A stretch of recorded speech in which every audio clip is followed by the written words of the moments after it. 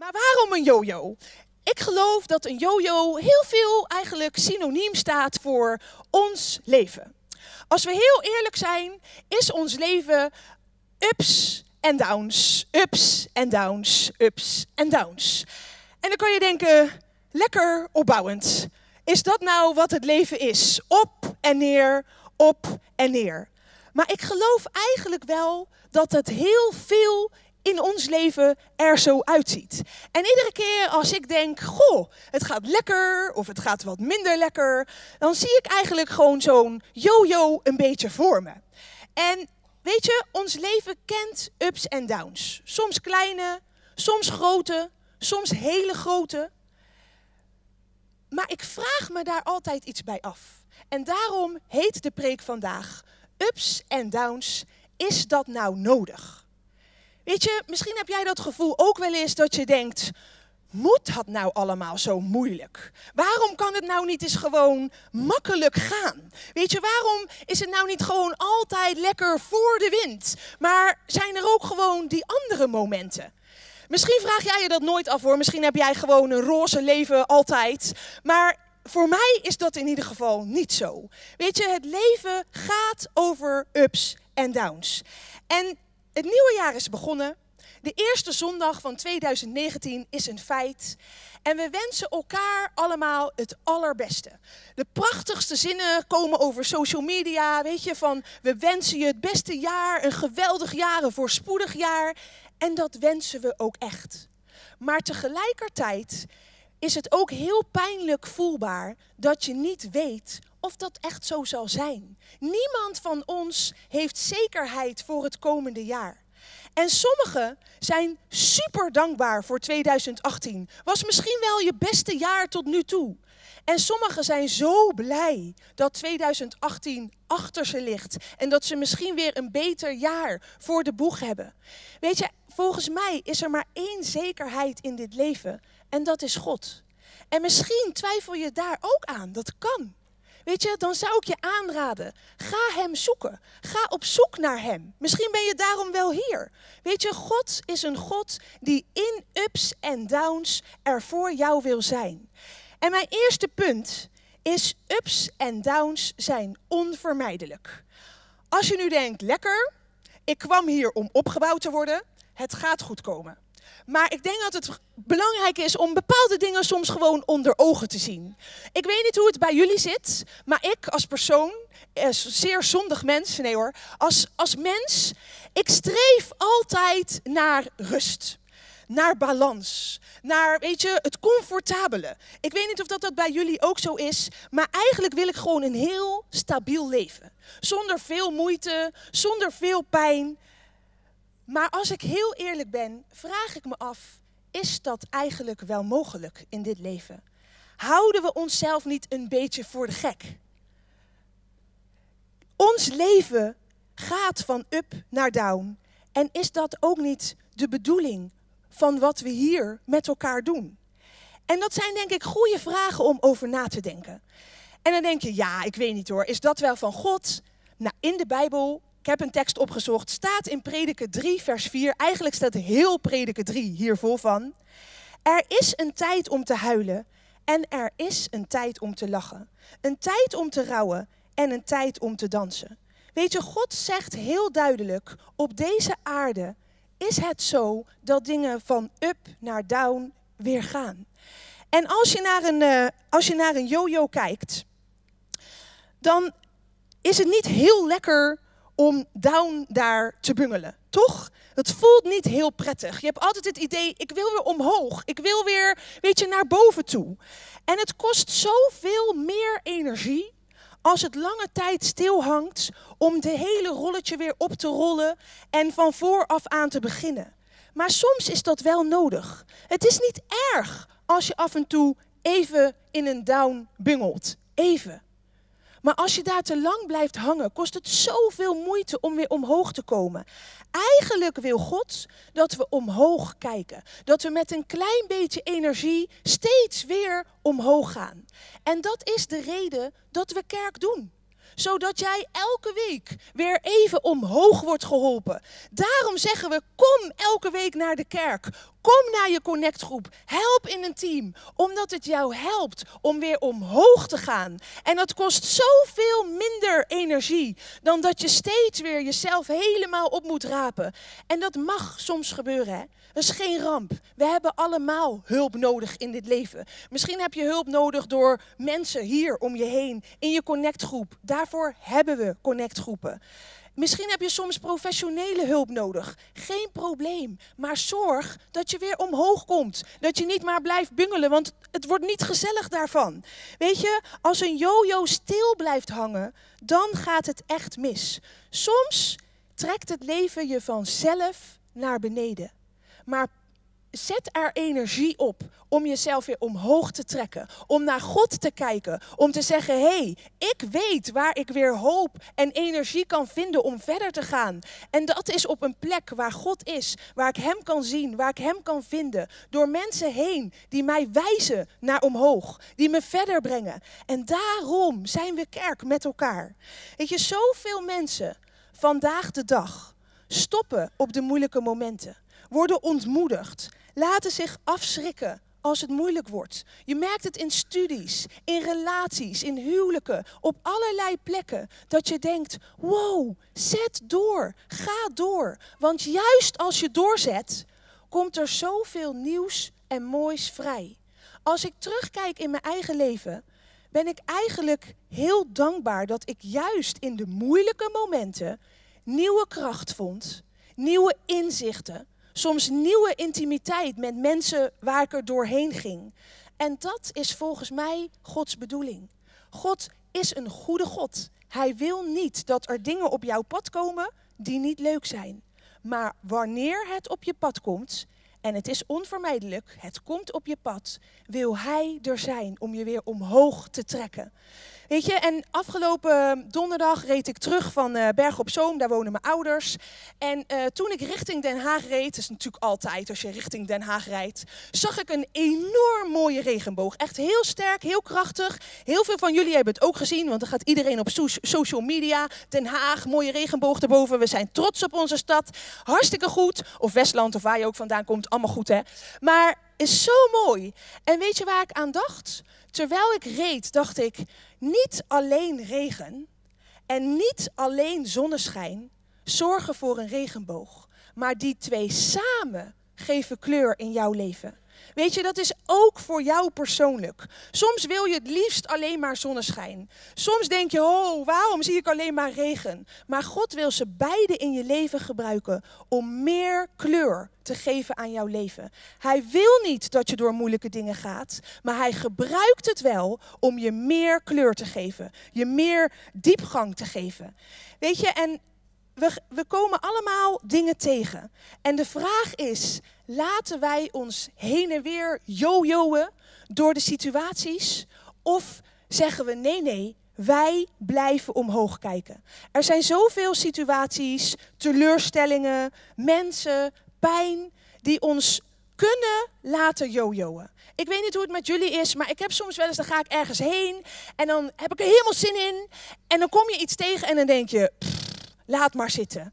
Maar God wil dat we richten op de dingen die ons opbouwen. We hebben allemaal de luxe om te kiezen: gaan we die kant op of gaan we die kant op? Gaan we omhoog kijken of naar beneden kijken? En je weet ook waar dat uitkomt. Weet je, laat je niet te veel jojoen door de momenten die in jouw leven gebeuren breng het steeds weer terug omhoog. En er staat in 1 Korinthe 15, vers 58. Wees standvastig en onwankelbaar. Er staat niet, joh, als je christen bent, komt alles goed. Nee, er staat, wees standvastig en onwankelbaar. God weet dat we yo-yo-effecten tegenkomen. Maar hij zegt, wees standvastig en onwankelbaar. En zet u altijd volledig in voor het werk van de Heer. In het besef dat door de Heer uw inspanningen nooit te vergeef zijn. Soms kan je wel eens het gevoel krijgen als je heel erg dat yo-yo-effect hebt. Waar doe ik het allemaal voor? Wat, wat heeft dit voor nut? God zegt, ik ga je voor je inspanningen belonen. Die zijn niet te vergeefs. Heb je het gevoel dat het af en toe maar heen en weer jojoot? Kijk naar mij. Ze zijn niet te vergeefs. Ik ben daar. Weet je, en in die tijden, juist als het een beetje jojoot, vraag ik me altijd af, wie houdt het touwtje vast? Geef ik mijn ups en downs aan God terug? Laat ik Hem weet je, de eigenaar zijn van wat er in mijn leven gebeurt. Of dat het nou goed gaat of niet goed gaat. Dat ik zeg, Heer, mijn ups en downs zijn allebei voor u. Niet alleen maar als het goed gaat dat ik zeg, prijs de Heer, oh wat een geweldige God hebben wij. Maar ook als het niet goed gaat, zeg ik, Heer, ik geef mijn leven in uw handen. Weet je, soms ben je zo hard zelf aan dat touwtje aan het trekken om het maar omhoog te krijgen. Maar God vraagt, mag ik met jou mee? Jojoen, weet je, laat mij het doen. Laat mij in jouw leven werken. En dat staat in 1 Korinthe 15, vers 57. Laten we God danken, die ons Jezus Christus onze Heer, die ons door Jezus Christus onze Heer de overwinning geeft. Weet je, God belooft je dat Hij je een overwinning geeft. Als je het aan Hem toevertrouwt, de mooie momenten, de minder mooie momenten, dan belooft Hij je, ik geef je overwinning. Hoe lang het soms misschien voor je gevoel ook duurt, blijf omhoog kijken. Blijf naar mij kijken. En weet je, downs kunnen alleen maar ups worden als je weer terug omhoog wordt getrokken. En dat is bij een yo-yo ook zo. Het kan alleen maar up worden als je weer terug omhoog trekt, terug omhoog kijkt. En weet je, vandaag, vandaag hebben we Next Step Sunday. We doen dat twee keer in het jaar omdat we weten dat dat een zondag is waar je na kan denken. Wat trekt mij terug omhoog? Heb ik een bepaalde cursus nodig? Zou ik misschien weer in een connectgroep kunnen gaan? Misschien niet alleen gaan. Moet ik misschien een connectgroep leiden? Geen idee waar jij bent, weet je? Kan ik misschien in het team helpen? Wat trekt jou omhoog? Niet daar beneden blijven bungelen, maar iets doen. Iets van energie inzetten, zodat God je met dubbele kracht omhoog kan trekken. Weet je, er staat in Psalm 50, vers 15: Honor me by trusting in me in your days of trouble. Je eert God ermee, juist als je moeilijke dagen hebt, om te zeggen: Heer, ik eer u. Ik kijk naar u omhoog. Ik weet dat het van u afhangt. Dat u mijn toekomst in, in de handen heeft. En ook al zie ik het zelf niet, u ziet het wel. En dat alles gaat om vertrouwen in Hem. Weet je, de kerk, wij, COC, de connectgroep, de teams, die bestaan onder andere om jou omhoog te trekken. En weet je, niet alleen om jou persoonlijk omhoog te trekken, maar jij bestaat ook om anderen in jouw omgeving omhoog te trekken. God heeft een doel met jou, dat je een verschil gaat maken, dat je je bestemming ontdekt. Hij wil allereerst jou omhoog trekken, maar dat doet hij omdat hij ook wil dat jij mensen in jouw omgeving ook weer omhoog trekt. Zodat we een prachtig 2019 hebben. Als iedereen elkaar omhoog zou trekken, wat zou er dan niet mogelijk zijn? Weet je, God heeft grootse plannen met 2019. En of dat, dat nou over ups of over downs gaat, ik weet het niet. Maar ik weet wel dat God in alles onze constante factor is. Onze hoop, onze focus. Weet je? En um, afgelopen, zon, uh, ja, afgelopen zondag hadden we afscheid genomen van Kees en Cora als diakenen. Ze zitten gewoon nog in de kerk. Eerste dienst waren ze er. Maar ze zijn alweer wat oudere leeftijd. En we hebben ook mensen vandaag die weer een next step daarin nemen. Dus uh, Jan en Alma, die gaan even staan. En Jan en Alma hebben gezegd: hey, wij nemen een next step. Wij gaan de, het, het, stokje van Kees en Cora overnemen. We gaan mensen bezoeken, we gaan er voor mensen zijn. En dat is zoiets moois. En vanochtend liep ik naar beneden en ik zag uh, iemand in het cateringteam. Ik zei, hey ja, ik leid vandaag het cateringteam voor de eerste keer. En zo, uh, ook meteen een nieuw iemand in het team. En dan denk je, dat helpt omhoog. Dat geeft energie. Weet je, zo wil God um, ons bouwen, onze kerk bouwen. En dan het eerste punt, ups en downs zijn niet zijn onvermijdelijk. Om dan toch wat opbouwends verder te gaan, is het tweede punt. We kunnen onze kijk wel veranderen. Je kan niet altijd veranderen wat er in je leven gebeurt. Sommige dingen kun je een beetje iets van invloed op hebben door bepaalde keuzes of door bepaald denken of wat dan ook. Maar je hebt niet alles in de hand. Vertrouw God dat wij, Hij wel alles in de hand heeft. En dat verandert jouw kijk. Dat verandert op de momenten dat je daar beneden bungelt. Dat je zegt, hé hey, wacht eens even. Ik ga hier anders naar kijken. Dieper kan ik niet gaan. Ik kan alleen maar omhoog. Weet je, dat is een kijk die jou helpt. En ook afgelopen week was eigenlijk voor, voor ons ook een rollercoaster week. De eerste minuten van 2019 waren heel spannend hier in deze stad. Er waren allerlei mensen aanwezig op het strand bij het vreugdevuur en dat ging mis.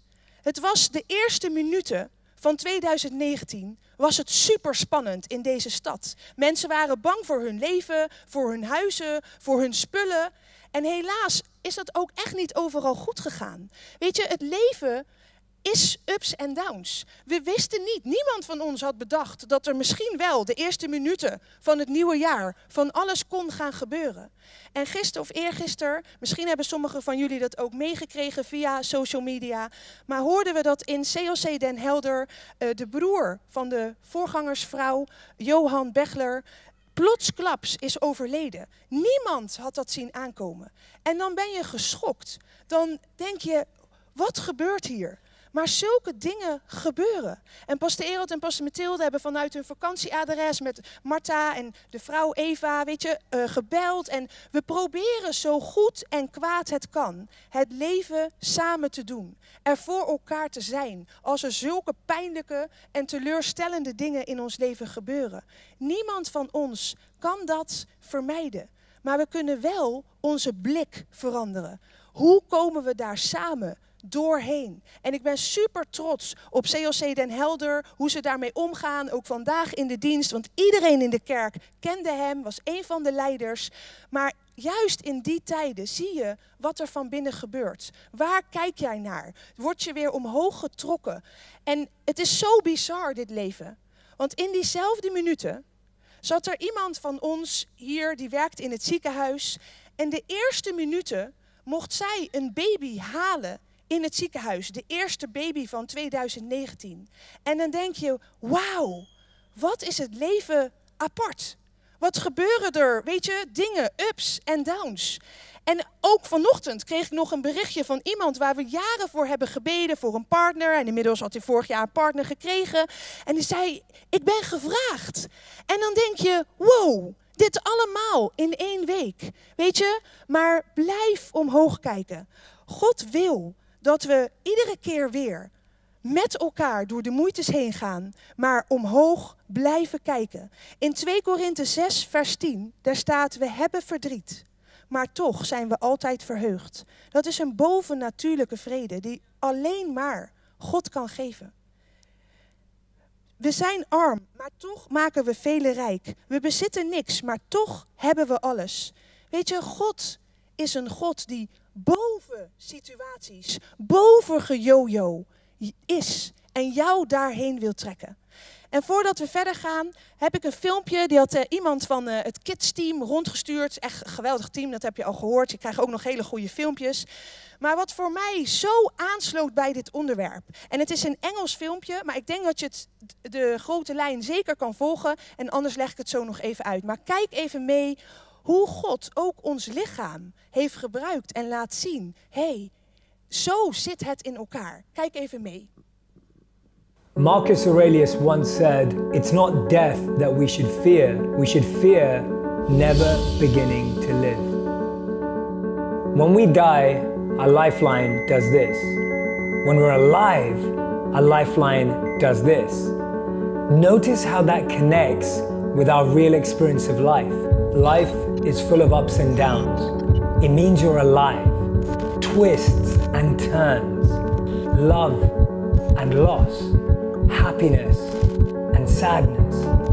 Success and failure. We experience extreme highs, peaks, and summits, and at the same time experience the troughs, the lows, and submit. Life is kind of like one big crazy roller coaster starts slowly, fills you with anticipation and curiosity, takes you up, and then sends you flying down only to rise up quickly again. We laugh until it hurts. We cry inside a little. Experience a few moments where we wanted to stop and hope it's all over, but it just keeps going. We somehow think that success is linear, an upward line. There is literally no case study for that. Everyone we admire has ups and downs. Your body mostly replaces itself every 7 to 15 years. The organs that work the hardest have the fastest changeover. You get a whole new skin every 2 to 4 weeks. Your red blood cells last less than half a year. And your liver renews itself at least once every couple of years. The universe is always changing. We are always changing.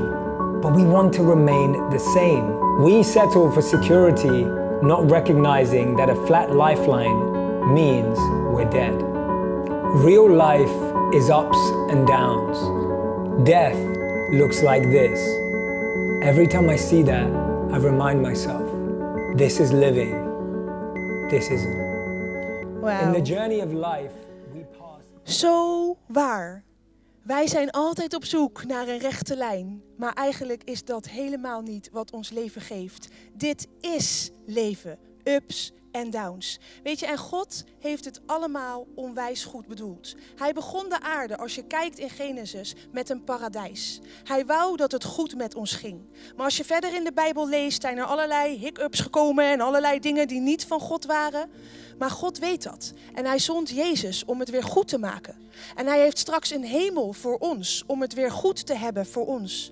Maar in between zegt hij, ik ben daar. Ik weet dat je door ups en downs heen gaat. Dat is het leven. Ren er niet van weg. Ga niet proberen te stoppen en allerlei dingen in te bouwen om het maar een beetje flat te krijgen. Zorg ervoor dat je in ups en downs steeds weer omhoog kijkt. Steeds weer naar mij kijkt. Weet je, en iemand hier van COC had in de jaarwisseling iets gefaceboekt, of hoe je dat ook noemt, wat mij heel erg raakte. Ik wist dat diegene een vreselijk jaar achter de rug had. Gewoon zoveel moeilijke dingen.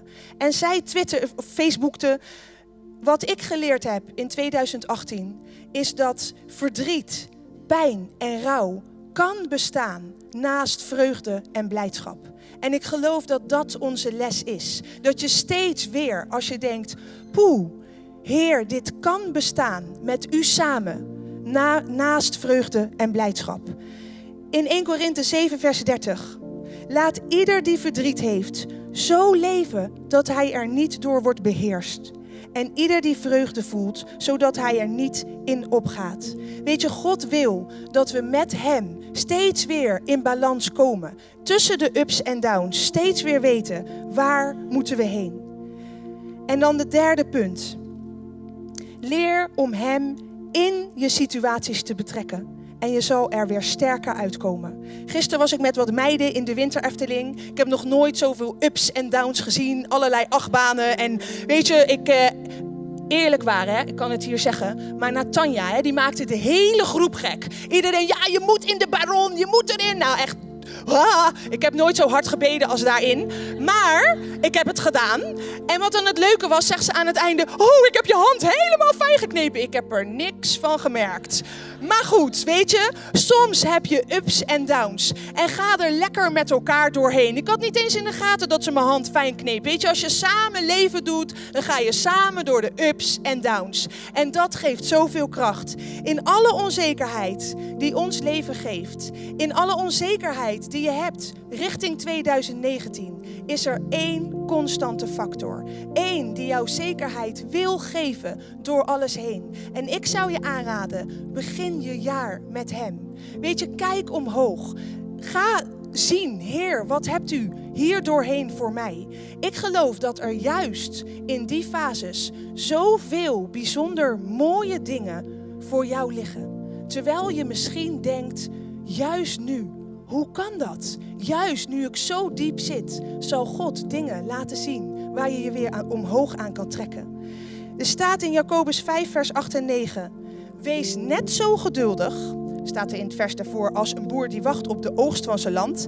Ik heb in Zeeland gewoond, dat duurt lang. En houd moed. Klaag niet over elkaar. Weet je wat er gebeurt als dingen niet zo lekker voor de wind gaat? Het eerste is dat we heel ongeduldig worden dat we geen moed hebben en dat we over elkaar gaan klagen. En God zegt, doe precies andersom. Weet je, ga niet aan jezelf twijfelen. Ga niet aan God twijfelen, aan zijn huis, aan de mensen om je heen. Zorg ervoor dat ze je juist omhoog helpen. En help jij anderen terug omhoog. Weet je, haak niet af. Trek niet terug. Geef niet op. Hoe moeilijk het soms ook kan zijn en hoe weinig comfortabel het soms ook voelt.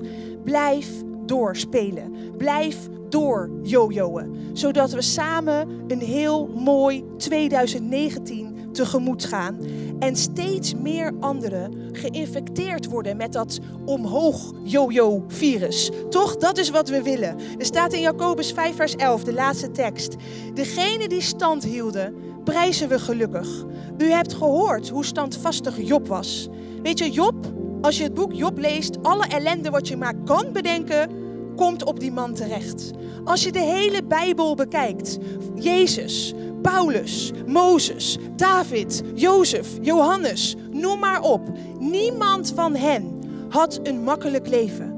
Maar juist omdat ze er goed doorheen gingen met God, zijn ze mensen waar we zoveel van kunnen leren. Zo kleurrijk, zo diepgaand. En God wil dat ook in jouw leven. Hij wil niet dat je moeites hebt, maar hij wil je er wel sterker doorheen maken. Weet je, ons leven heeft zoveel gelijkenissen met een yo-yo. Vol van ups en downs. Maar zolang wij steeds weer kiezen om omhoog te kijken, komt het wel goed met ons. Dit is leven. Wees standvastig, blijf doorgaan en blijf op Hem vertrouwen.